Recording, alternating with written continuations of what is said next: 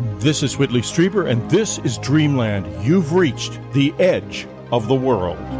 First, this morning, we're going to be talking to Leslie Kean, New York Times reporter, who first reported on the Navy Department's release of UFO footage, or the Defense Department release of UFO footage that really changed the world and changed the whole perception of what UFOs are and left us in the public with no doubt that they are real and they are a mystery. It was one of history's most important stories. And I'm very proud to have Leslie with us today to talk about Project Blue Book, which has jumped into the news again because of a very successful fictional show about Project Blue Book that's running on the History Channel. Leslie, welcome to Dreamland. Great to be with you, Whitley. Just just to comment too about that first story that you mentioned. I think a lot of the impact of that it was the videos that you mentioned, but also just the fact that we were able to reveal that there actually existed a secret government program in the Pentagon that had been studying UFOs for 10 years. I mean, that was really the bombshell part of it. That that program even existed at all. Yeah, well, I'm sure it's just the tip of the iceberg. I know we, I'm sure you and Ralph Blumenthal, who works with you on these stories, are probably digging as deep as you can to find more information about that. We're always trying to dig as best we can. You're right, and we come up against a lot of walls in the process. Why is it so secret? Do you think, Leslie? You mean the uh, that program in the particular? whole thing? I mean, you know, you and I both know. We know that there are extensive programs behind closed doors that involve the UFO slow slash alien abduction phenomenon. And I just can't, what I can't figure out is why it is so secret. I mean, uh, you know, in my explorations with people associated with, particularly with the Pentagon program, which didn't have anything to do with the whole realm of abductions and all of that, but these military cases that they were studying their goal was to try to understand the technology behind the objects and just how the objects work. And they don't want our adversaries to get that information before they do. I think it's that simple. In terms of the Pentagon, I mean, there's a lot of other people, as you mentioned, that are involved with studying this. But that program in particular wanted to understand what was going on and how these objects do what they do. And if we could re- replicate that, we would have a huge advantage. And we don't want the Russians or the Chinese or others who are also studying the phenomenon to get access to what we know. It's sort of like there's a, a race, you know, to get the information, and everybody's trying to keep it to themselves. And I think that's the reason. And it makes sense to me from a, you know, a Pentagon or a, a, that perspective that the Defense Department holds, which is to protect the American public at all costs, that any kind of exotic technology that they can decipher and put to use, they're not going to want to share it with our adversaries. It's that I think it's that simple. Uh, probably so, and unfortunately, I know the visitors fairly well at this point in my life after having had them in my life for 30 years. And basically, what's going to happen as long as we take this stance and all three major players do is nothing because uh, they ain't doing a thing unless we come clean. This has to this has to belong to every man. It can't be hidden behind closed doors. There will be no progress behind closed doors. I and know I that agree. for certain. Yep, and that's why I'm trying to get the word out as best I can.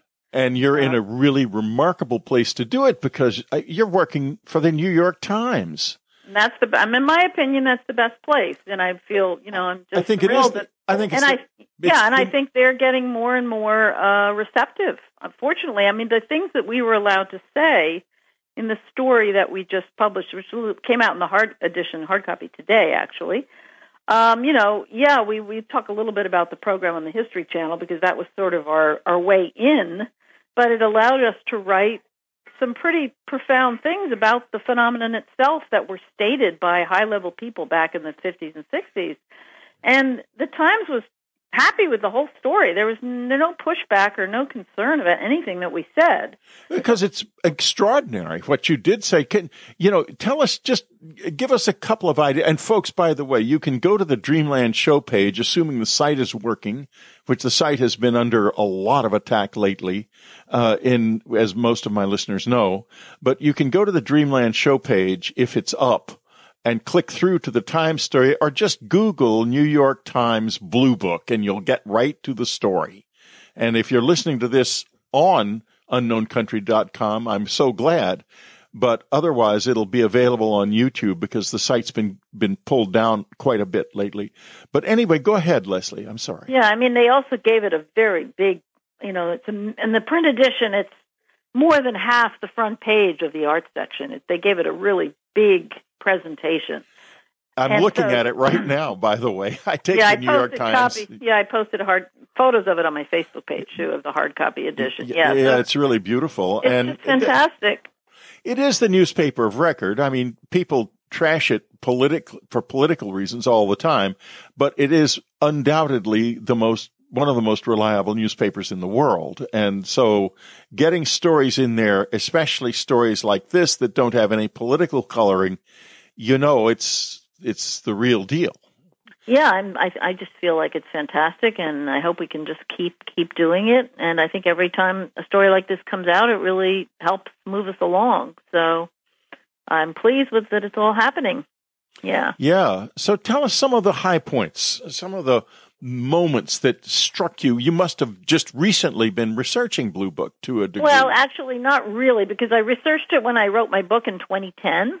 Right. And, you know, I have not really been focused on, you know, UFOs as much because I have this other topics I'm involved with. So, you know, I went back to my notes and, and uh, back to a lot of stuff that I had written during that time and kind of pulled out what seemed to be some of the most important quotes and most important information. And of course, I mean, ideally, we would have liked to have had twice the, the space we had. It's always difficult because you have to fit into a space, and so we had to trim down the story a lot. Um, so, if but that yeah, the, the upside of that is that you're forced to pick the really, really, really most important stuff.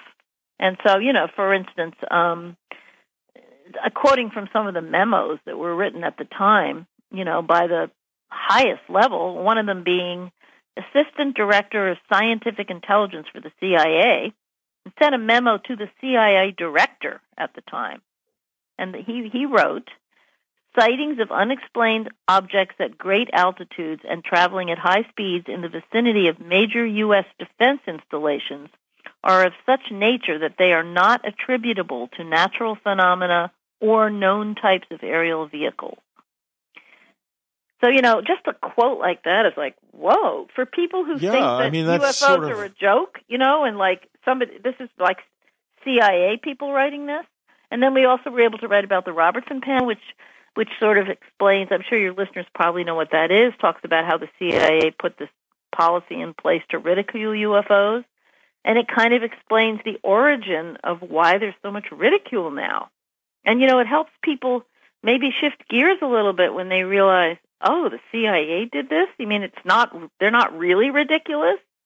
You know, the CIA put this in place as a way of managing all the people's interest in it at the time. And we have a legacy from that that still exists. So to be able to say things like that, I think it's just very educational for people. And this is not the kind of stuff that's going into the show, unfortunately, which is, and I've watched six episodes of it, and it's becomes a sort of thriller more about people than about the phenomenon and it just kind of gets sillier and sillier as it goes on. So we wanted people to kind of get a sense of how serious the authorities took this at the time, and that the fact that Blue Book was really just a public face of, of sort of a front uh, and a PR operation for the Air Force, and somewhere that they could tell people to take their reports to sort of calm everything down, but that their real intention was to try to debunk as many as they could and, and just keep the whole thing under control. That's the key point. I'm sure you would agree. I know you've studied this a lot. Oh yeah, absolutely. I've studied it extensively, and uh, I, you know, I, I, am inside it in the sense that I have uh, often have uh, contact of, in various ways with the visitors, and uh, right. So you know, which is quite real. It's not it's not imaginary at all. I totally get that, Rick Whitley. I've Yeah. never never thought it was imaginary. I mean, I think the other really important thing that we were able to bring into this story is the Bolender memo, which I'm sure you're familiar with. We, you know, which is you know the Air Force. yeah, but tell they- us tell us about it. Yeah, then when they closed Project Blue Book, the Air Force told the public that U- there was no UFO that was of any national security concern. And they said some other things too, but let's just talk about that point in, at first. And we were actually able to write in our story that the Air Force lied. I mean, we were able to use that language, and it's true because the Bolender memo, which was written a couple of months before they told this to the public, was a secret memo at high levels uh, explaining to different intelligence agencies that they could continue to report UFO cases that were not part of the Blue Book system. And they actually say reports of UFOs which could affect national security would continue to be handled through the standard Air Force procedures. So in that memo, they said more than once that in fact UFOs are a national security concern while telling the public that they that they weren't. It's a black and white Right. proof of a lie. Which is And you know that and- I, I think that memo is so so so important, and I was so happy that we were able to get that into the story. which is uh, amazing because there, you know, there was a time I heard years ago that Richard Helms had gone to the New York Times in the early 70s and asked them to stop publishing stories about UFOs, which they used to do fairly frequently early on. Mm. Um, and, but now that seems to have changed because I was, my mind was boggled by your story for that and other reasons. You really have, uh, nailed it with this story in the newspaper of record. I'm glad you feel that way, Willie, because you know there's so much more we could have said, but we just tried to. I think that the things that we did bring forward are all just very, very important in terms of establishing the case of the reality of UFOs, as you just said.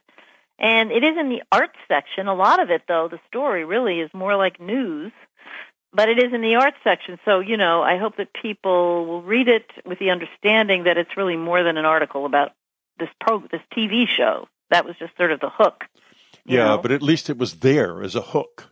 it's here and it's online and in the online edition um you know included two really lovely videos that i hope people will watch one of them being the, the famous press conference by samford Yeah, that tell us a little bit about that. that. That he has he has about the least appealing press presence I've ever seen. i know Go ahead. he has no charisma at all None. um but you know he he uh but he also looks in the video you can tell he's very serious and he's he's just but he's trying not to show a lot of expression you know Right. Um, but you know, the, it happened right after the um, these famous sightings in 1952 of, of multiple air, multiple UFOs over Washington D.C. and caught on radar, and you know, many pilots involved, and it was such a big deal that they had to call a press conference about it. And in fact, it was the biggest press conference that had been called since the end of World War II. Um, and because he had to address what was going on, and I'm, I'm trying to find the quote. I'm looking at the article in front of me, but just, oh, here it is. So, so um, you know, he did this huge press conference, and there's we we posted a video of about five minutes, which he said, which is all it really took for him to make his statement. But among other things, he made the famous line that probably a lot of people are familiar with, that a certain percentage of sightings have been made by credible observers of relatively incredible things. And it Yes. is this group of observations that we are now attempting to resolve. And so you can actually see him saying that if you go into the story online and look at the video, which Now, I think is awesome. And it's very striking. We are attempting to resolve. That was in 1952. Yeah, a long time ago. now it is 2018, and guess what? We are still attempting to resolve. Exactly, and we were able to end our story by making that very point. Right. And that's also in in our discovery of the program at the Pentagon. You know, we can see that yeah, they might understand the objects a little bit better. They might have a little more scientists, you know, putting their noses to the grindstone in terms of trying to create understanding of how they operate. And we have more data because a lot of time has passed. But nonetheless, we have not resolved the basic problem. And so we really haven't made that much more progress. And we're also still keeping it secret, just like we were then. So it's not much has changed. And Yeah, in, in fact, I- I- I don't think- then they had this Project Blue Book, even though it didn't lead to much, but at least there was some place where Right. people could send reports. So we don't even have that anymore. I don't think that um, uh, uh, it's ever going to lead anywhere as long as it's kept secret. I, I think that the visitors will simply not let that door open. Uh, uh, I mean, our door to understanding open when our door, the door to the public's public access is closed. They will not Right. let this become a something secret that's only known secretly. I, I just and by the by opening that public door, would would that in your in your sense of things, would that have to involve an actual acknowledgement, or could it just be that more enough a, a larger percentage of the population gets that it's real, and then then we're there? Are you I talking about I know, I think that? I think that the that the government has to stop hiding these things, and you know, and in fact, I know for in truth, the United States government has much more knowledge of this than any of the others. Maybe they don't realize that, and they certainly don't know why. Uh, or why it is that the abductions were so concentrated in this country, but there are reasons, and uh, you know they just have to come clean. It's as simple as that. There are thousands of documents, thousands of videos, of images. Th- that all has to come out. If it doesn't Right. come out, we will not make any progress. Well, it certainly hasn't come out yet. And we just we just move in tiny little increments, you know, like like we're doing in our reporting, but nowhere near what you're talking about. No, but uh, those are, we don't. We're running out of time here on planet Earth. Okay. So they need. I to- know that's the thing. We need to get to get this going fast, Right. especially Uh, if you they- want to get any help from whoever, whatever these UFOs are. we will receive no help unless this is done. And and it has to be done or there will be no help. Listen, Leslie, Yeah. it's a great story and a, a tremendous achievement. I, you know, all of the work you're doing has, has always been top, top drawer. And your work on the New York Times has been history changing and, and, and it- is a really important service. And from my own heart, I want to thank you and Ralph for what you do. And folks, this is a wonderful story in the Times. Do not miss it. Read it. Click throughs help. They notice that. So click on that link and uh, let the Times know you care. Thanks very much, Whitley. Yeah, the more the more clicks we get, the better, because the more clicks the Times gets, the more they're going to be open to having other stories like this. So it's very important for people to circulate it and get people to click on that link. That's what matters. Thank you very much for being with us on Dreamland today, Leslie. Next up, folks, fasten your seatbelts as you often have to do on this show because Joseph Farrell is coming back for his 25th visit to Dreamland and it's a doozy.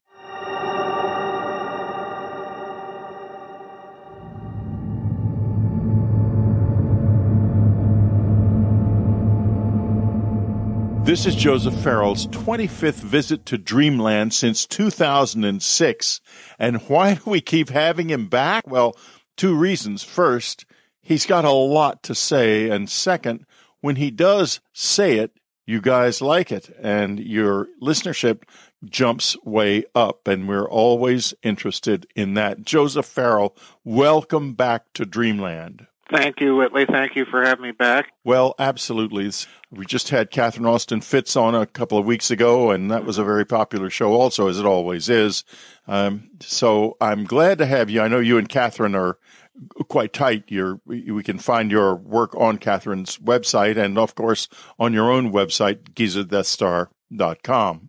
So let, you know, we talked briefly about last year uh, in uh, right at the end of the year of, of 2016, actually, you came on the air, and at that point in time, uh, the Patriarch of Russia, the Secretary of State of the United States, and the uh, the and Buzz Aldrin had all go down gone down to Antarctica mm-hmm. for some unknown reason. Maybe they were just decided all to take tours of Antarctica at the same time. Yeah, but uh, I agree. It, I, it does sound fairly absurd. Now, as I pointed out then, when I was in New Zealand some years ago, back in the mid, early 90s, in Auckland, people were going absolutely crazy because the United States Air Force was running round the clock flights from the airport in Auckland to uh, Antarctica. Mm. And they, they were all secret. No one could approach them. No one knew why. But there is a massive military operation going on down there. Oh, and there has been so much strange stuff about Antarctica. Uh, uh, why don't you tell us a little bit about anything you may have picked up recently? Well, recently there have been, uh, I just saw a couple of stories. Uh, one over the last week, apparently there have been a couple of deaths that occurred with some uh, Americans down there that are connected to Lockheed Martin's presence there. I don't know if a lot of people know, but Lockheed Martin has a presence uh, in Antarctica, which really makes me wonder. You know, when Buzz Aldrin went down there, Whitley, he tweeted out uh, he was flying, I believe, from South Africa someplace, and he tweeted out getting ready to go to the launch pad. you know, there's two ways you can take that. Um, he was just using astronautese for I'm getting ready to board the plane that's going to take me to Antarctica. Or you can take it as Antarctica itself somehow being the launch pad. you know? Yeah, well, he could and, exactly. Yeah, and and Lockheed Martin's presence there, you know, raises the ante considerably. That a major defense contractor is not going to have a presence there unless there's something military going on. Then just today, uh, it's interesting that you, you start out with Antarctica because um, I just received a, a story today that China is scouting out apparently some places for a heavy lift air base in Antarctica.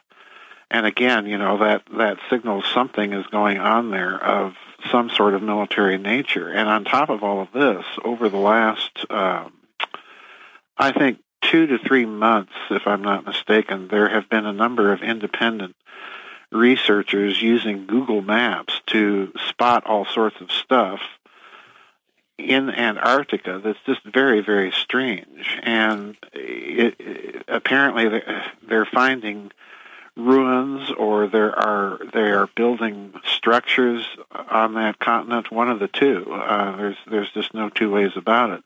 So something is definitely going on down there and everybody's keeping a very tight lid on it. And this is what is kind of amazing. I get the feeling whitley that there's some sort of uh, international agreement among all the people that have uh, outposts in Antarctica, China, the United States, Russia, uh, Australia, and so on and so forth, that they're going to agree to keep everything quiet. So, in other words, they found something down there, is, is the way I think uh, of what's going on.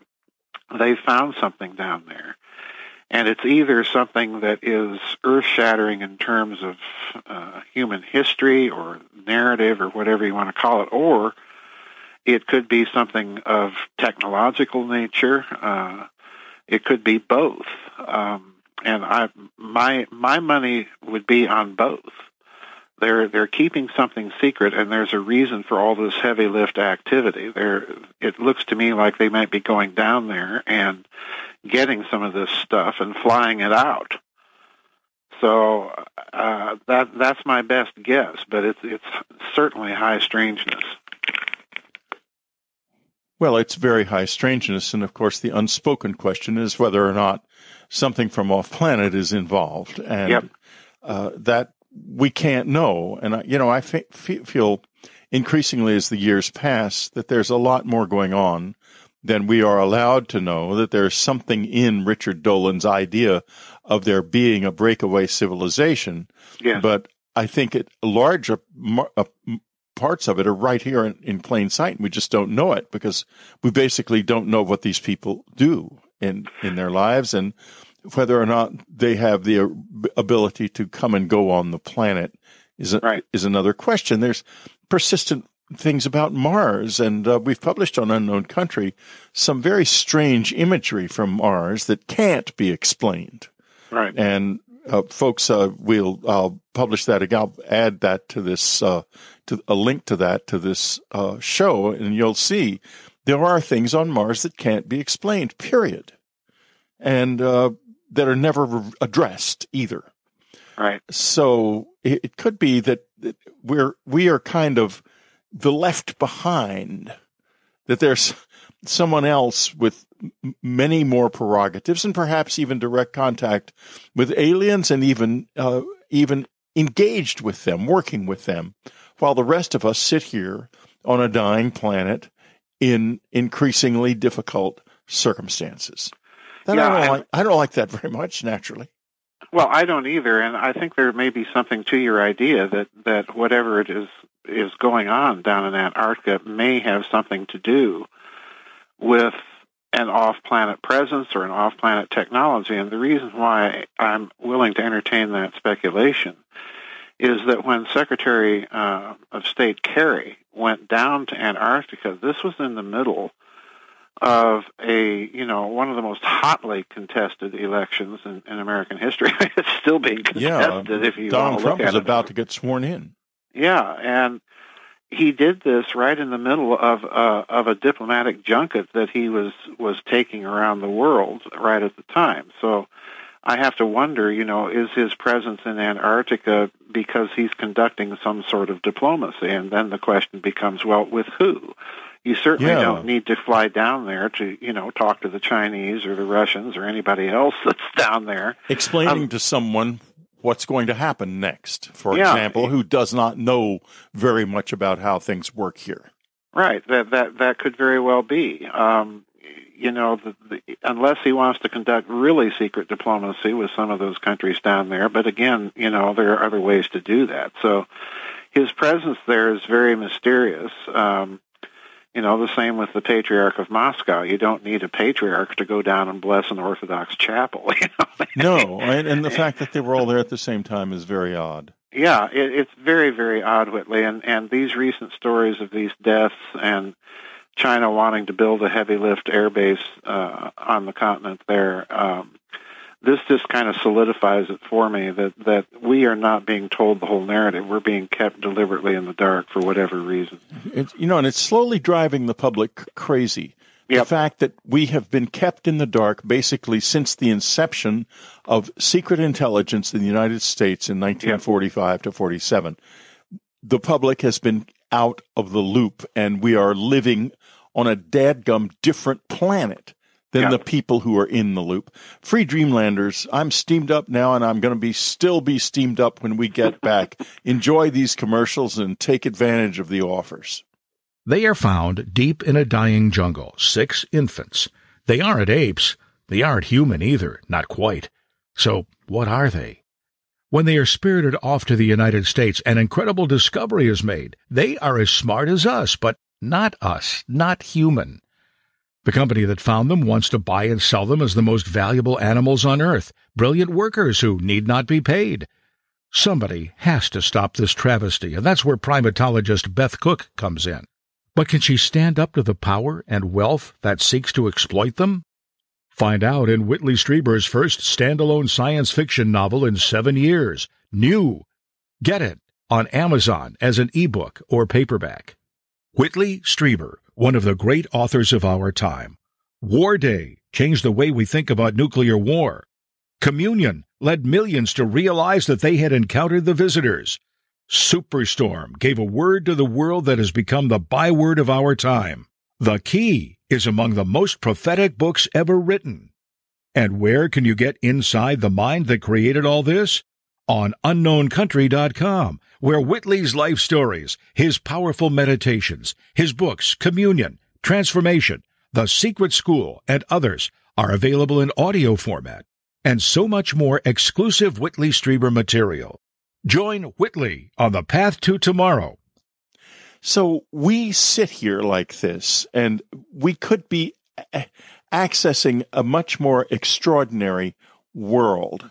Now, I want to change, move, slightly shift gears to something that that extraordinary world might be doing to us. When I was talking to Catherine, mm-hmm. one of mm-hmm. the subjects that came up, I think that you are very well aware of, is the some of the strange things that are uh, associated with the California fires. Mm-hmm. Yes. And uh, I'm wondering if we can't discuss that a little bit because it was a deeply personal experience for me. I was not burned out, but I have close friends who were whose homes were destroyed in these fires, and I can certainly see a natural element in the cause of the fires.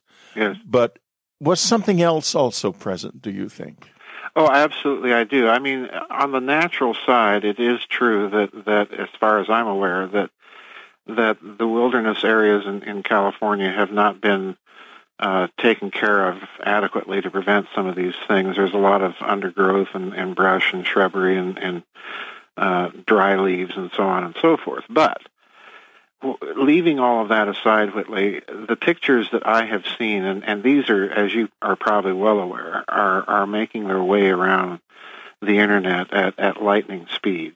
There are just too many pictures of homes just totally burnt to the ground, of, of cars with their rims melted literally in place. And right next to these homes, just as we saw in the fires last year, the brush, the shrubbery, the, the, the trees are, are untouched. They're, they're not burnt at all. So the question becomes how do you, how do you burn down homes and buildings and leave a lot of, of the, the shrubbery and, and vegetation unburned? This is, this is the mystification to me. And then add to this some of the reports that I have heard. I don't know if you've heard these as well, but I've heard reports from some people that uh, the fire and the way it started that that there are people literally missing from from uh, their homes and they're presumed dead, of course. But yeah, in the Paradise Fire there are. That's not true in Santa Monica. I mean, in uh, Malibu, everybody has been accounted for, but there are people in the Paradise Fire who've who are not on the list of of dead because nobody knows anything about them. They're simply right. gone. Yeah, they're just simply gone. And I have to wonder, you know, there's been a variety of explanations, Whitley, as to what's what is causing these things. And I've heard everything. I've seen videos. I've seen pictures that people that live out there, that are members of my website, have sent me of fires apparently having broken out at the electrical meters. So some people are thinking smart meters may have been responsible. Other people are thinking in terms of some sort of exotic or directed energy weaponry and so on and so forth. And I'm not willing to dismiss any of them. Um, I, just today I was reviewing some videos that someone had sent me of the shock waves from some of these fires, and they're just bizarre. And the the smart meter thing really got me thinking. I even blogged about this after I saw some of these pictures. I even posted them on my website.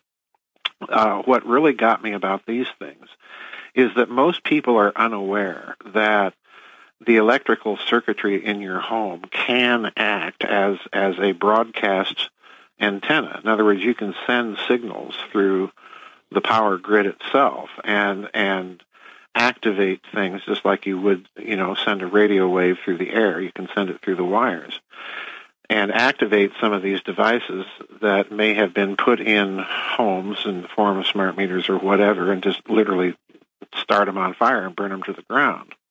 You know, that's one theory that's out there. So there's a lot of anomalies about these fires that, that make me think that these, pardon me, cannot be entirely natural or explained with entirely natural causes. So then the question becomes, well, why? What, what's going on here? And I, I, I really don't know other than to say I think, pardon me, that, that Catherine Fitts may be onto something, that they are in a hurry to buy up a lot of land in California, prime land and real estate in, in Northern California, and do this in order to, to reshore and retrench a lot of expertise and expand the Silicon Valley, you know, northward of the Bay and so on and so forth to bring in a lot of expertise. Um, that's one possibility. There's there's just too much about this that uh, leaves one scratching one's head. And to top, you know, to put kind of the cherry on top of all of this Sunday that I'm I'm dishing out here, the the PG and E aspect of this story is also very interesting because I did a little digging and discovered that they were connected to some sort of uh, company doing uh, weather satellite, uh, uh, weather modification satellites and things of this nature. So something weird is going on there, and it may be that California, as it has functioned in the past, is the test bed for you know something that they intend to apply at a wider regional basis, just uh, outside of the state altogether. So I don't know, but the fires are are just too dang anomalous. Well, you know, one of the advantages of having a big, well uh, organized website like Unknown Country is that we have a deep memory. Right. This is a story from February the 12th, 2004. Mm-hmm. Fires have broken out in a part in part of a Sicilian village and no one can figure out what's causing them. Mm-hmm. It can't be electricity since the power has been cut off. Despite this, note that despite this, washing machines, dishwashers, refrigerators, electricity meters, and cables have been spontaneously bursting into flames. Right. Now, fast forward a few years to 2008, another story the Italian government announcing that they have studied this situation extensively and do not know what happened. Right. Here's an here's a witness. Uh, Donatello and Giancarlo Zuin stood t- talking and noticed the parked car they had arrived in burst into flames. We watched the rear plastic light slowly melt in front of our eyes, said Zuin. There was more and more smoke, and then it burst into flames. I could not believe it. And that's one story like that after another. And if you look at the witness reports from Paradise, it's the same kind of same stories, thing. same stories. Yep. So when people say, oh, it's just conspiracy theory, I'm sorry. No, There's something else afoot. This Yeah. isn't, th- th- that's not the only thing. Uh, that yes, the winds, the possible defective uh, power supply, power stations, et cetera, and so forth, are all certainly implicated. But it's as if this other thing was folded into it Yes. to Yes. hide it within the natural fire. Yes, absolutely. I, I, I wholeheartedly agree with that, Whitley, and I'll tell you another reason why. Because if we go back and look at the fires in Greece that occurred shortly after the, the previous year's fires in California, uh, many of the same features are found in those fires as well. Buildings burning, cars and vehicles burning, and nearby shrubbery not burning. So I'm, you know, I, I go back to to a, a phenomenon that Dr. Judy Wood talked about in her book about 9/11 and and the uh, Trade Center towers collapse, the, the two tall towers. She she talks a great deal in the book about her toasted cars phenomenon. All these cars that were found around in and around uh, Manhattan, far away in some cases from from ground zero that either had their engine blocks melted or as we saw in the paradise fires recently in california the, the metal rims on, on the wheels melted and so on and so forth. I, I think whitley what you're looking at is some sort of resonance effect of some sort of exotic energy that's being poured into these places and catching things on fire through resonance uh, through the phenomenon. You know, that would be in addition to the smart meters theory that some people have been advocating out there. And it would explain, in terms of the Paradise uh, Valley people that have gone simply missing, that aren't accounted for. Well, if if they're inside these cars uh, when they catch fire or begin to experience some of these effects, you know, the sky's the limit there. What what happened to them? Did they burn up? Uh, did they disintegrate? You know what? Yeah, exactly. What happened to them? Yeah, it's almost as if they're an outbreak of case, cases of spontaneous combustion. Right. Exactly. Yeah, it's exactly. very very creepy. Well, speaking of creepy, free dreamlanders, here are some announcements that will undoubtedly creep you out. We'll be right back. Whitley Strieber has published an incredible two volume historical novel called In Hitler's House under his open pseudonym Jonathan Lane. This amazing story follows the life of William Weber, who meets Hitler while touring Germany in 1931 and becomes his friend and confidant. But then, when he realizes the truth, becomes a spy in Hitler's house for the Allies. Living a life of terrible danger, he falls in love with another of Hitler's secret friends, also a spy in his house. This is a story of espionage and desperate love, and the deepest portrait of Adolf Hitler ever created. Don't miss In Hitler's House, available in paperback and as an ebook on Amazon.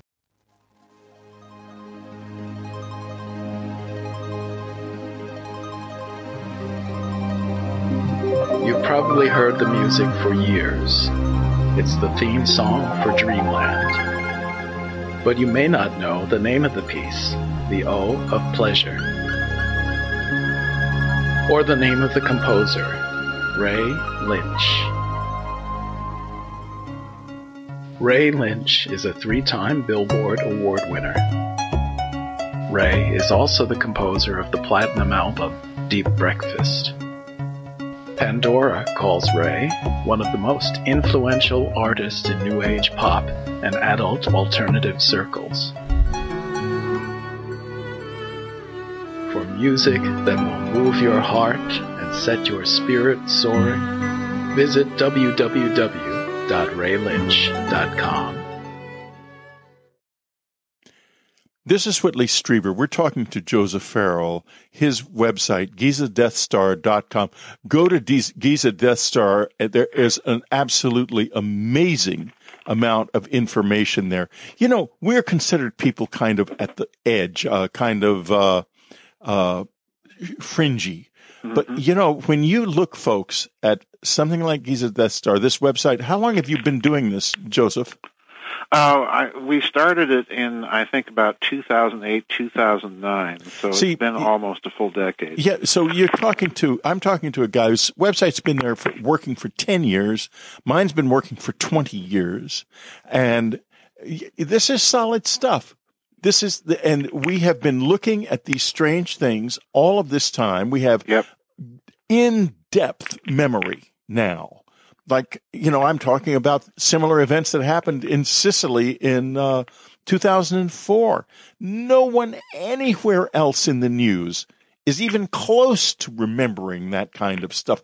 They're all right. here for the this current 20 minute 15 minute uh, news segment and that's it there's much more going on. I just want to mention in passing something we briefly discussed, Catherine Austin Fitts and I briefly discussed, which is Jack Kasher's report on uh, mission STS 48, shuttle mission STS 48, right. uh, where you see coming up from below, which we've determined was from Pine Gap or from Central Australia, I should say, uh, a pulse of energy that causes a number of little white dots to dart off into it at breakneck speed. Yep. And this is a pulsed energy weapon mm-hmm. being fired at the little white dots. And what do you suppose they may be? They're not astronauts. They're not meteors. They're UFOs. Mm-hmm. And they're being fired at. Therefore, that is real. And so is that weapon. Now, the first one of the first things you're going to want to do with a weapon like that is to point it down because yep. it gives you so much control over what's going on below. Yep. Now, you know, we'll see with time whether or not the uh, areas of the of the uh, the burn areas that were all that that railroad was supposed to go through end up enabling the railroad to be finished because right now it doesn't look like it's going to be finished because it's too expensive. So the the the high speed rail system. I don't know if you've looked at the maps, but a lot yes. of people have these maps out there that show that the high speed rail system went right through the areas that are the burn areas. Yes. Very convenient because, of course, it vastly decreased the value of those burn areas. Yeah. Okay. Yep. So now I want to move on. We, are sort of doing a little digest show here. Uh, and this is this these odd seismic waves that yeah, that have been uh, uh, pulsating around the planet. Something's way off here, Joseph. Obviously, why don't you tell us a little bit about what your thinking is? Well, I first encountered these, Whitley, uh, back when I wrote Roswell and the Reich, and I, I even put a picture of some of these waves at the end of that book because there was a German kind of amateur seismologist that was picking up all of these very, very large in, in terms of amplitude, large waves coming out of Antarctica. And he even put up on his site, you can, you can look in the book because I put the pictures of, of these waves. They're just bizarre, Whitley. They are all over the, the, the seismogram. Um, and, and they're enormous. They're enormous waveforms. And he put up on, on his site uh, a, a seismic wave of a nuclear explosion, which of course was just dwarfed by these things. And now we've got this story of, of the seismic waves that are appearing that, that people have noticed and been posting. So something is going on inside the planet. And, you know, I'm thinking of the movie Core, where where uh, they discover that the internal dynamo of the planet is slowing down, and as it slows down, the magnetic field, of course, is collapsing. And we've been, you know, hearing about that story for a number of years.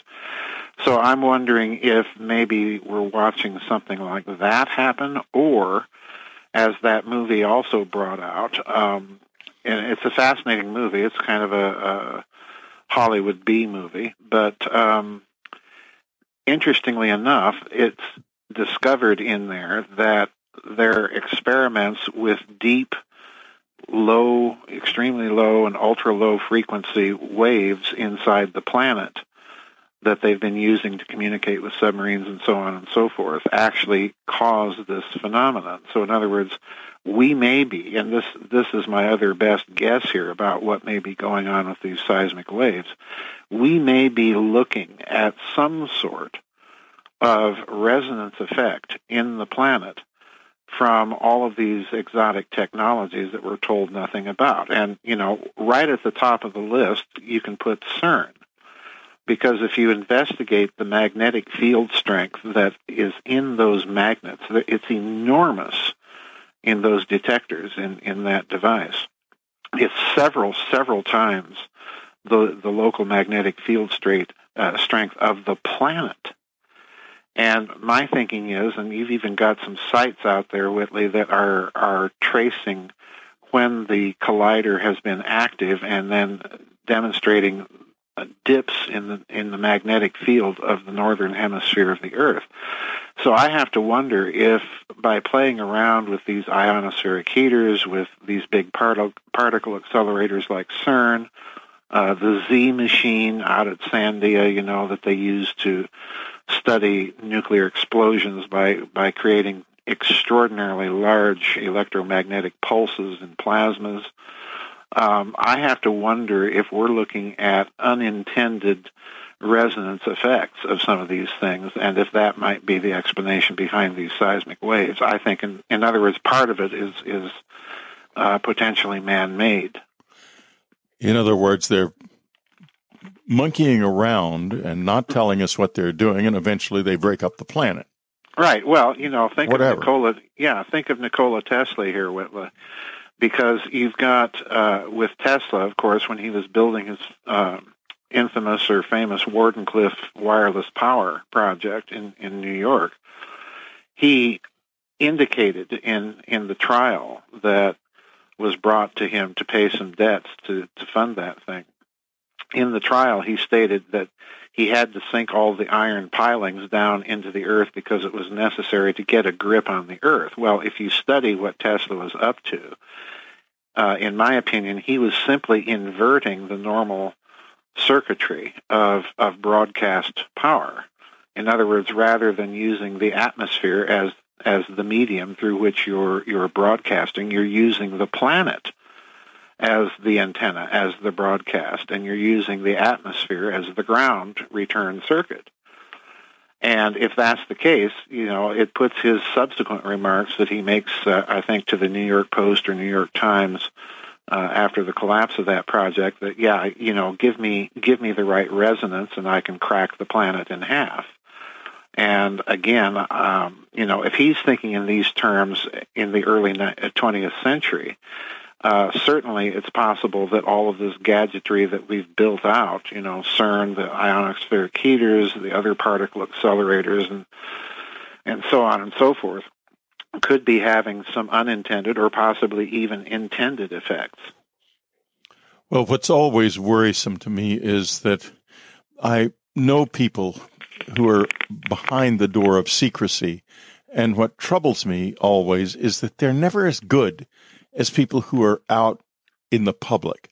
There is no Stephen Hawking uh, hiding behind the wall of secrecy because a person of that caliber doesn't want his work hidden. He wants to be he wants to be part of of the scientific community and rise to prominence in that community with very few right. exceptions, which right. means that it could be that things that are far that require far more intelligent and insightful management than is available behind the the barrier of secrecy are happening there, and that worries me. Yeah, it does me too, and you make an excellent point there because uh, the the only attraction that these projects can have for people of high intelligence can can only be for people not only of high intelligence but absolutely no sort of moral grounding. In other words, you know, I'm going to enter this world because I've got a lot of money and I can make a lot of cool stuff and just see what happens. And people uh, whose souls know. are already dead and they know it. Right, exactly, exactly. And then, as you say, the other the other thing that results from from that sort of uh, culture, if you want to put it loosely, is you're going to attract people with lesser management ability. They're not going to be thinking in terms of uh, backlash or, or spillover effects into other systems that they, you know, that's not on their, their radar focus. Um, so they're going to be essentially, as you put it, incompetent. And that's that's every bit a possibility as far as I can tell. Uh, you know, I've I've met a few of these people in, in my life as well, and and uh, to me, they're just astonishing sometimes for, for their for their narrow view of things. And yeah, and they're incredible. A- yeah. Arrogance, arrogance, so great they don't even know it is arrogance.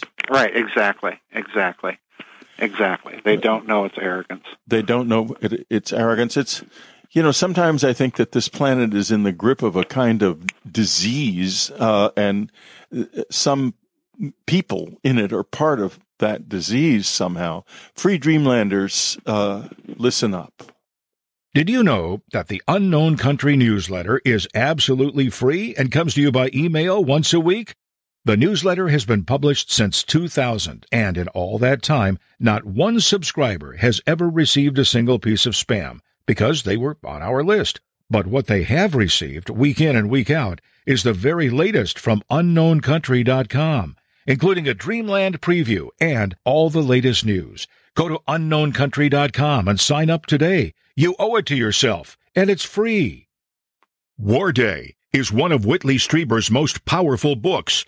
Join him and his co-author Jim Kunetka as they travel across the United States devastated by limited nuclear war. This acclaimed novel was originally published in the 1980s, but now that North Korea has said that they can hit the U.S. with nukes, it's more timely than ever. Don't miss this informative, exciting, and convincing testament to the power of the human spirit in challenging times like our own. Get the ebook for $3.99. Go to Strieber.com for this and all of Whitley's great books. We're talking to Joseph Farrell. His website, GizaDeathStar.com. Giza Death Star has been going a long time and it is a rich, rich fund of information, just like Unknown Country. You can use the search engines on these websites to learn things that you really will not find elsewhere. Uh, simply for two reasons. First, the rest of the world doesn't look as deeply. And it prefers just not to look in certain directions, but we're not like that. Uh, now, I want to get back to Antarctica. I want to circle around at this mm-hmm. point. Mm-hmm. You wrote a book a few years back called Hess and the Penguins. Yep. Uh, the Holocaust, Antarctica, and the Strange Case of Rudolf Hess. And I'm wondering if we can't gain by discussing some of the topics in this book a little bit more insight into what in the heck is going on in Antarctica, because this is important and what we are being told and what we are led to believe cannot be the truth. Well, yeah, I think I think we can gain some things because, in a certain sense, Whitley, um, I've always I've always been of the view that this Antarctic strangeness really begins with that 1938-1939 uh, German expedition to Antarctica, because the sponsorship of of that expedition was none other than Reichsmarshal Hermann Goering, and and this is not a man that's going to be uh, sponsoring a science project. And the the narrative is the official narrative is well the Germans were looking for you know whaling and and oil and lubricants and so on and so forth, which certainly is a plausible explanation. But the fact that that this expedition takes place and then on its return to Germany, something unusual happens that, that really sent my uh, suspicion meter into the red zone, so to speak. And that was number one, Goering telegraphed the, the leader of, of the expedition, Captain Ritscher, a, a message of congratulation that this expedition was was going to put Greater Germany and its scientific efforts on the map, and then everything goes absolutely dead quiet. So enter Rudolf Hess. Why why does Rudolf Hess enter this picture? Well, because Hess at this time is the Stellvertreter, as, as the German title was, the, the placeholder, quite literally, for Adolf Hitler as, as the head of the Nazi Party. So Hess was in an extraordinarily powerful position. Uh, he was also a minister without portfolio in, in, in the cabinet, and, and he, in addition to all of this, he was the commissar, and this is something that most people are unaware of. He was the commissar for technological development in the Reich. In other words, he had his fingers in every black project's pie that there was inside of Nazi Germany at that time. Then he flies off to to Great Britain in in May of 1941, and the rest is history. And what I uncovered, Whitley, as I was searching for this, because I've always maintained that, that there's some connection between Antarctica and Hess, simply by dint of the fact that he had his hands in, in so many pies in, inside the Third Reich. Well, I discovered that while he was in Britain, a, a British lord, an envoy of Winston Churchill, had contacted Hess when he was in captivity in Britain and asked to see him, and Hess, you know, took took the meeting. And during the meeting, this this British lord, I forget what his name was, but um, this British lord asks him about the treaty that Hess has brought to Great Britain to sign and take Britain out of the war so that Germany would not face a, two-front war when it invaded the Soviet Union. And the British Lord asks Hess, well, do these assurances include uh, Greece? He mentions Greece and Norway.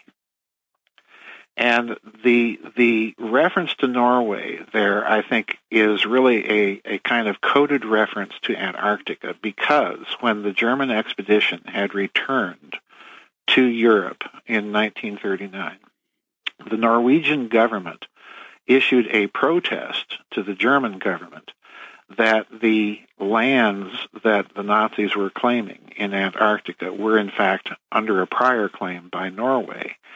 And the German Foreign Ministry responded that it did not acknowledge Norway's claims in Antarctica. And the reason why was that Norway had not explored it, had not developed it, nor sought to develop it, and that the German claims went in and were based upon exploration of the continent that went much further inland than Norway. So, in other words, the way I'm reading it, Whitley, is that Antarctica was kind of referred to by the British and uh, in this in this private negotiation with Hess. And Hess's response was very interesting. He said the Fuhrer has not spoken on this matter.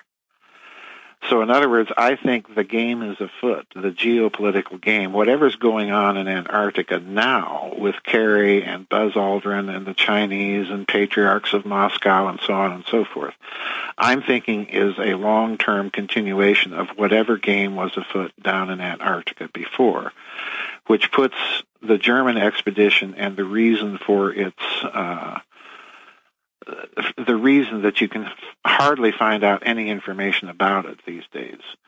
Uh, I think it could be that some of that information was classified by the Germans after that expedition, and that they may have either photographed something in their flyover missions in, in that part of Antarctica that they were exploring, or they found something and took it back with them. I, I don't know, but uh, given what we've said before, I wouldn't rule it out.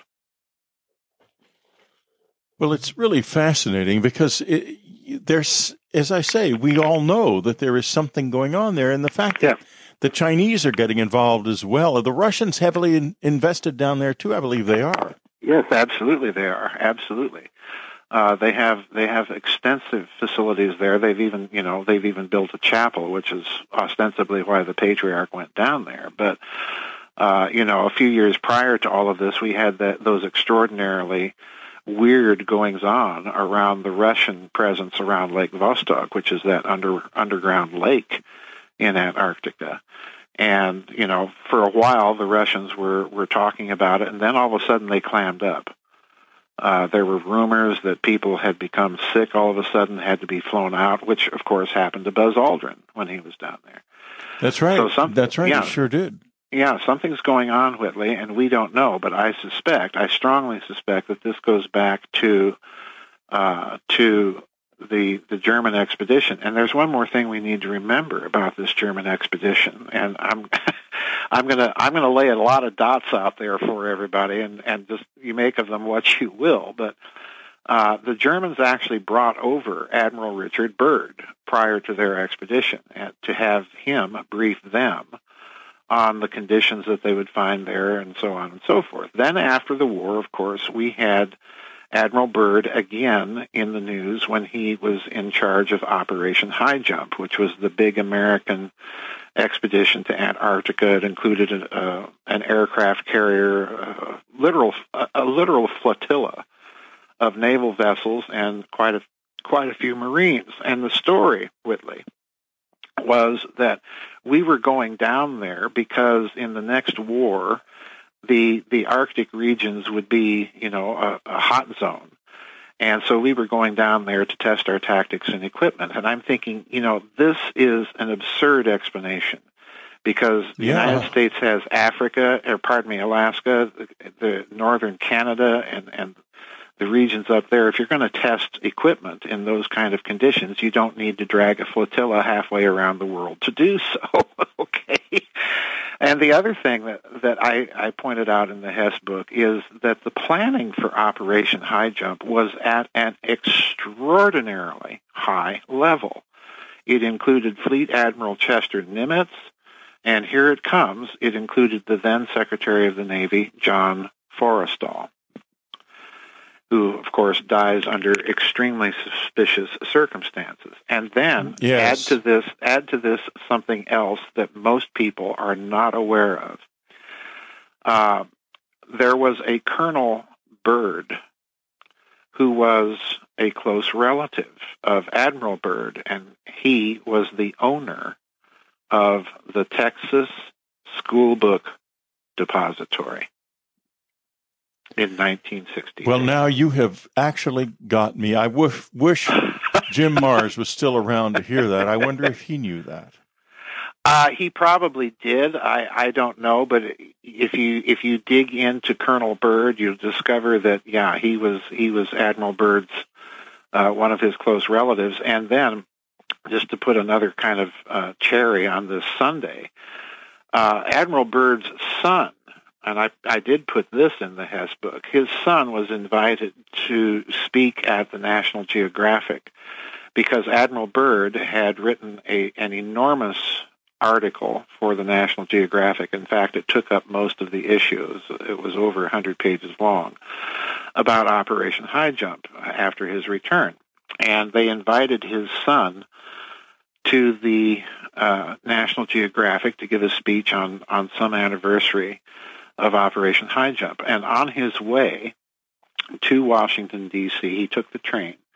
He disappeared and he was discovered in a he disappeared for several weeks as a matter of fact and they they discovered him in a an abandoned warehouse in Baltimore Maryland and the Baltimore police were treating it as a homicide uh, the, the witnesses that that uh, claimed that they saw Byrd's son claimed that he was in the presence of another individual and that was the last anybody saw of him so there again, there's more high strangeness surrounding Antarctica. We don't know what it is, but there's all sorts of dots here that are just too uncanny when you get right down to it. Because again, you know, President Kennedy was a very close friend of, of uh, Secretary Forrestal.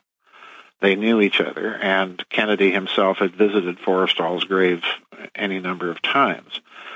So there's there is possibly some sort of Antarctic connection working in the background of of all of that that happened in Dallas in 1963 as well, and and we don't know what it is. Well, you know what a tangled and wonderfully fascinating web you weave. I, I just love having you on the show because all of us are, I'm sure, exactly in the same position I'm in right now. Wait, does this tie into that? Does that this? And where it takes you is it takes you into a realization that we don't know where we are. Right. We, we don't know what's actually happening. We don't even know what we are because right. if we, if we knew it, it, we should, none of this should be secret. Right. But it's terribly, deeply secret. And that's why we don't know what we are. Yeah. Because something is kept from us and if we understood ourselves, we would know why, and we don't. Another area that has been kind of in the back of my mind, largely because of those seismic waves we talked about a bit earlier, mm-hmm. is the story that has sort of faded from consciousness of the possibility that the Earth's crust may not be stable, that it may shift from time to time. Mm-hmm. And if it does shift, this happens during periods when the ice pack is melting and the weight of all of that ice is moving off of the uh, poles and into the oceans. Mm-hmm. Now, there's whatever happens, and we talked about the core of the earth a little earlier being responsible for those waves, happens so deep that it doesn't change the structure of the surface. In other words, if if this was happening frequently ge- in geologic time, and it was um, uh, close to the surface, the planet would be rubble. But it's not. It has right. very ancient geologic features. Now, a couple of things. First, I have recurring dreams of extraordinary inundations. That's number one. Number two, Linda Moulton Howe, when we talked on the show, eh, mentioned when I brought this up that she gets dozens of emails from people with similar dreams. Mm-hmm. Now, you put those two things together, they may not mean much, but maybe they mean a lot. Another thing is that there is a geodesic line around the earth that contains on that line all kinds of sacred sites from yes you know about that yes and it's uh 1520 miles. If you if you do a horizontal through a vertical through it, rather, excuse me, it it comes out 1520 miles due west of the physical North Pole. Yes, suggesting that the planet shifted in fairly recent times. What do you make of all this? Oh, I I I think that there's definitely something to this idea of a grid. And, you know, I wrote a book called Grid of the Gods, and it does appear to me, Whitley, that these sites, um, I'll, I'll just I'll just be blunt, that these sites, particularly some of the, the strange features of, of the pyramidal structures in, in Mesoamerica and incidentally in India, where these things appear to be built as resonators of some sort. In other words, we may be looking at some sort of ancient effort or megalithic effort or what have you to build out a, a machine on the surface of the planet for whatever reason uh, to either stabilize or destabilize uh, the crust. And uh, I, I think there's something to that because in in that book, Grid of the Gods, I pointed out that some of the features of these uh, Mesoamerican and Indian pyramids almost look like they had been deliberately designed by a knowledge of higher dimensional mathematics, and the the use of that in my opinion, could only be for some sort of engineering of the medium, be it local celestial space or the planet itself. So I do think there's something to that. Um, as to what and how they were thinking, I don't know. But it has every appearance of that. And and speaking of Antarctica and inundations, the other thing that made aware of in the last three months is apparently, and there were pictures uh, of this I blogged about it on my website. There were pictures of an ice sheet that had broken off from Antarctica. And this was taken by a NASA airplane that supposedly, according to the story, was just happened to be flying over it at the time. okay. But if you look at this ice sheet, Whitley, it is almost perfectly rectilinear. Yes, I've seen that. It's really very strange. It's very, very strange. It's almost like someone had uh, cut this huge chunk of ice off of of the ice shelf. It is just very bizarre. And so the question arises, you know, you can't you can't get a rectilinear feature like that naturally breaking off the ice shelf. It has to be cut. Well, how do you cut something like that? Well, the the easiest and most obvious way would be through some sort of, of exotic energy technology, quite literally. So something very strange is going on, and the idea that that someone would cut off an ice sheet and uh, of that volume and mass. Uh, to me, kind of indicates that maybe there's something behind all the, these people, including yourself, having dreams of, of vast inundations. Um, who knows? I, I, I don't, but it's all very strange. Well, it is, and it, it, it, it it's troubling to me because I I often have the sense that perhaps there's somebody here mm-hmm. who wants the planet without us, but it's right. having trouble figuring out how to do that. Right. You know, in right. other words, how do you keep the planet intact and get rid of us? Yeah. Am I being too paranoid? I... No, no, you're not being too paranoid at all. I just uh, talked with Richard Dolan last night, and and uh, he discussed an interview that he's given, just given with with Dr. David Jacobs, and this is kind of the conclusion that Dr. Jacobs has come to that they are. Uh, that there's some effort on, on the part of them to infiltrate us and, and this planet. And uh, you know, I've I've said this myself at, at the Secret Space Program conferences. If we take all of those ancient stories of a genetic tinkering with humanity by some sort of genetic cousins way back when, you know, they look like us, they walk like us, and, and so on and so forth. The only way that you could determine any presence like that on this planet would be through genetics. And lo and behold, what we've seen in the last few years is that there has been this mad scramble to develop technologies that will allow you to sequence someone's genome quite literally in the field without having to send it off to a laboratory and so on and wait a couple days. Uh, the FBI uh, has bought into this technology, and then we have all of these examples of road stops in this country where people are being asked to swab their DNA. Well, the question is why? What are they looking for? Uh, I, I, don't view this activity as simply being explainable simply on the basis of uh, trying to collect, you know, data for some gigantic uh, genetic database.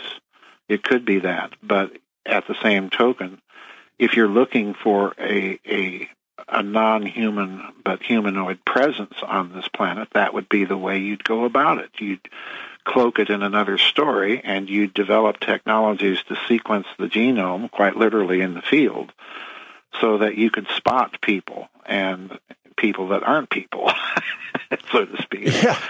Well, you know, back in, um, I guess about 1995 or six, and I was in discussions with a gentleman from who was working then for the uh, one of the select Senate, Senate Select Intelligence Committees, one of the subcommittees, not subcommittees, but a separate committee, and uh, they were working on this subject.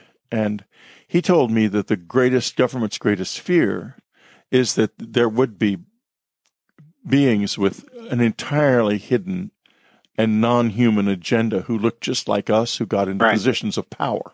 Right. And I jokingly, I made a joke about this in such a way that it was picked up by a national security agency monitoring system near where I lived, and I had more darn trouble with that. I'm still, I think, sus- suspect uh, because it was just a joke. But y- you know, the thing is, maybe they're not here to harm us maybe they maybe they are here for some other reason that has nothing to do directly with helping us or harming us, but obtaining something from us that we really don't need, or it could be that they're here to help us. We just don't know what what that might be. About. Yeah, we don't we don't know. Um, I suspect, Whitley, that if we go back, you know, and I, I tried to speak to this point in, in 2015 at, at the Secret Space Program conference in Texas, that if you're the national security state after World War II, and you're confronted with three strategic problems, you're confronted, first of all, of course, with the communist bloc. Secondly, you're confronted with what I've been calling this this post-war extraterritorial Nazi state. And thirdly, you're confronted with UFOs. So how do you how do and of the three, of course, the UFO is the big one. So how what's your response going to be? Well, I suspect that that national security state is is not only going to establish hidden systems of finance, which I definitely have argued for in, in my books, they're they're also going to go back and they're going to look at all of these stories from ancient times, from the Bible, from Mesopotamia and so on, about this intervention genetically with humanity. And if they do that, then they're going to immediately think, well, good grief, we could be in the process of being infiltrated and subverted right now. We've got to figure out a way to detect this and find out what they're up to. So yeah, I, I would agree with you. The one thing that those texts would, would have cautioned them about is that in those texts, the agenda of the people doing doing the genetic engineering isn't too pro-human. so, right. Right. Uh, you know, that's that's the other thing they've got to contend with. So, you know, the way I look at it, this this whole uh, frenzy after the war to first of all crack the genetic code itself and and discover the double helix and so on and so forth. Um, there's there's little aspects of that whole story that are a little bit fuzzy that make me think that something else is going on here. Uh, there's that, and then there's this recent development that we've seen in, in genetics of the CRISPR technology, the ability to edit uh, genomes fairly quickly and easily. We've seen the development of these field application sequencing technologies and so on and so forth. So something I think is definitely afoot. And I think, like you, they're probably looking for somebody or something in, in the genome. Well, they may be. And of course, the CRISPR technology offers the promise of things like we think to ourselves, oh my, maybe we could create a race of super geniuses. Yeah. But the, it goes a lot deeper than that because yeah. we might be able to create a race of passive super geniuses yep. who would essentially be biorobots. Yep. Us under another, us without our independence of spirit. Yes, exactly. It exactly. absolutely terrifying. It uh, is, and especially so, you know, you're not just speculating off the top of your head because if you look at some of the things that DARPA is up to, precisely in terms of, of engineering super soldiers and so on and so forth, this is exactly what they're after. Exactly what they're after. Well, exactly. It is precisely what they're after. Joseph, uh, we're coming to the end of our hour together. I want to know what you're working on now, or if you want to uh, say. Well, I, I, don't really ever give out specifics, but I am researching uh, three different possibilities for books, kind of all at the same time. Uh, I just came out with a new book a couple months ago called Microcosm and Medium, which is up on my website, and I'm, and which folks you can listen to. It's a, it's an he's read it, read it himself. It's an audio book on his website. Yeah, it's an audio book, and it's also an actual published book at, at Lulu, uh, self-published book at Lulu. But um, it's uh, I, I'm looking into doing either kind of a sequel to that or kind of branching out from it in certain ways. So I'm looking in, in three different areas right now on doing that and researching a pile of books that's stacked up in my living room. which has been the case for a long time. Which has been yes, which has been the case time. for a long time. Joseph Farrell, Giza Death Star, an in depth journey into a world we almost can see and understand, but not quite. But it's a very important uh, world. What a career, Joseph, and may you continue for many long years to enlighten us further. Uh, good luck and God bless in 2019. Well, thank you, Whitley, and the same to you, my friend. How can we even conceive of a year as strange as 2019? I'm, I I don't know about you, but I'm I'm looking forward to it with mixed apprehension and feelings. So. yeah, same here. Thank you very much, Joseph. Thank you, Whitley. Bye. Bye bye. You've been listening to Dreamland. Be sure to tune in again next week. Dreamland is brought to you by UnknownCountry.com and its family of subscribers. Unknown Country was founded by Ann Strieber. Our news editor is Matthew Frizzell. Our coordinator is Amy Safrankova. Whitley Strieber is your Dreamland host, and I'm your announcer, Ted Alexander. Thank you for listening.